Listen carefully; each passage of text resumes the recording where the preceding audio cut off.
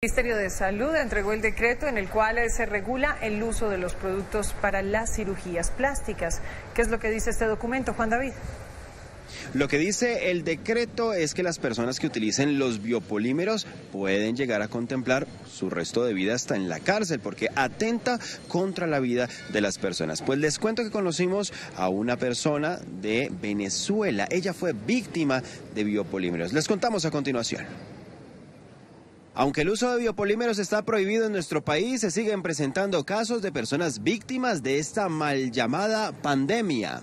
Los biopolímeros se siguen, inyectando muchísimo y pues el biopolímero es una sustancia que no debe ser inyectada en el cuerpo, no es una sustancia de uso médico y produce un proceso inflamatorio crónico que va llevando a los tejidos inyectados a una muerte lenta.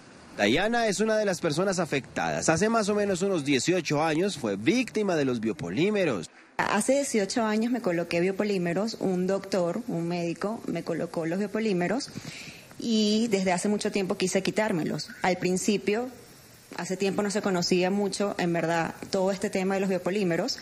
Nunca supe en verdad que era biopolímeros. En ese momento me dijeron que era otro nombre que no recuerdo. Tuvo que acudir a otras intervenciones porque su cuerpo empezó a verse afectado.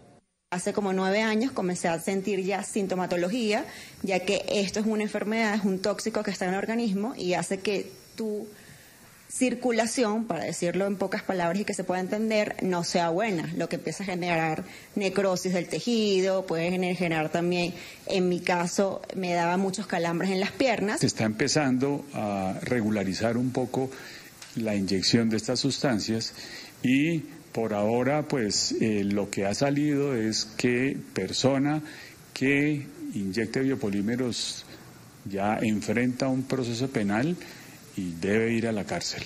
Por eso el llamado es para que consulte muy bien con el especialista. Además, el procedimiento a realizar. Y recuerde, lo barato sale caro y a veces se paga hasta con la vida.